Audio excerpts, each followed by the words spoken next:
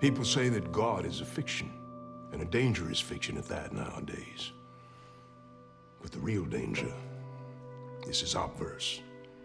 The very real father of evil, the fallen one. Tell me, how long has Jewel been acting strangely?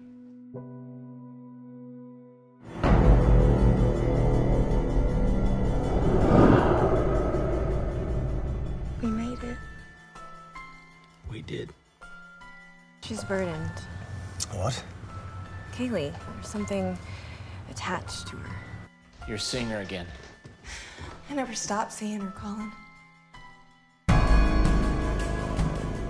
Your sister will never be closer to you than she is right now. So that's it, you're leaving. I have to respect the family's wishes. I don't have much of a say in the matter. Whatever it is that's between you two, now is the time to solve it. Do you really believe? In demons? Absolutely. My daughter is not insane. She is infected. You want to play? I'm good at playing.